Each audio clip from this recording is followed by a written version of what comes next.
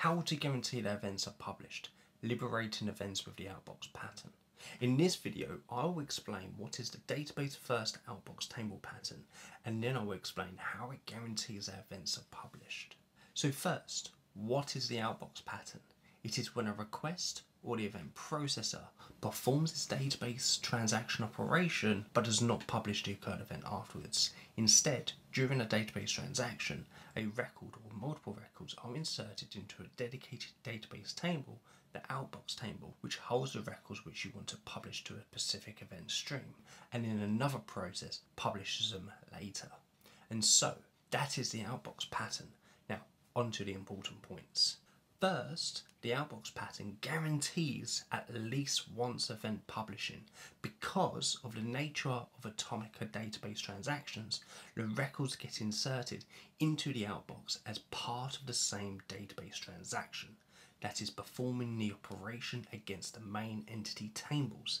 It guarantees that the operations will be successful after the transaction finishes or nothing will have changed, ensuring data integrity.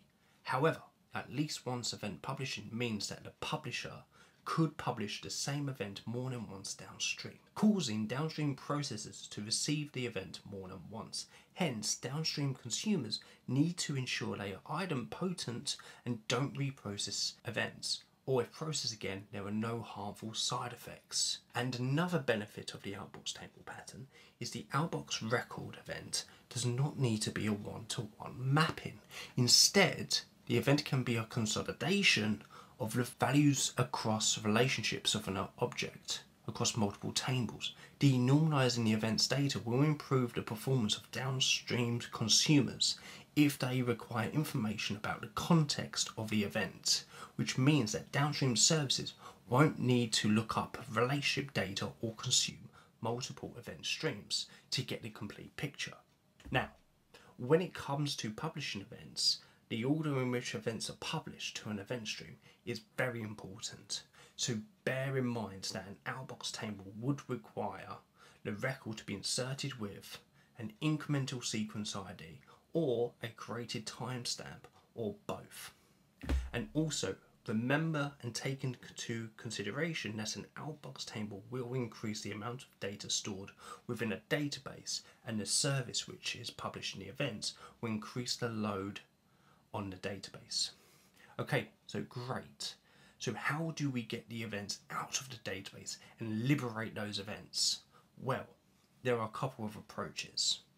The most reliable and efficient way to do this is by using a technique called change data capture. Most databases write every insert and update and delete operation to a transaction log or what some call an append log, which is used by the database in case of failure when it needs to recover. Now, how do you use the change data capture to liberate events from the database? Well, if you're using Apache Kafka as your platform, then you can use Kafka Connect or open source tools.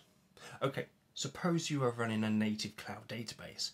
Then for example, if you're using one of the AWS databases, you can trigger Lambda functions after a database operation completes. Or if the database is not cloud native but is running in AWS, you can use, for example, AWS Data Migration Service to publish the events. However, if you can't use the methods I've stated, then you can develop a service which polls the table for new records and then publishes the events.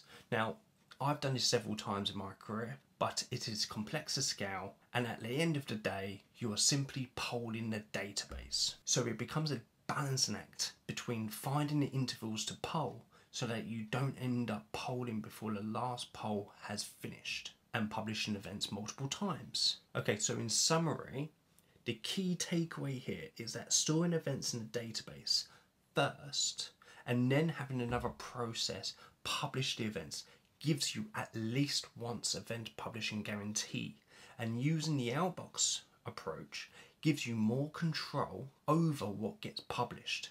It is an excellent tool that I have used to turn an existing legacy system into an event driven one and I highly recommend it. Now watch the video about the writer side pattern or the video where I compare event streams and message brokers.